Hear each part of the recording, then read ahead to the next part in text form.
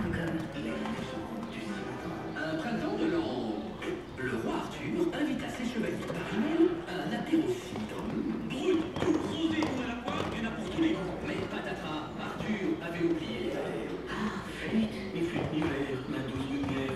Heureusement, c'était des petites bouteilles de cire, pas besoin de verre. Et chacun peut choisir sa variété. Ah On a du bol.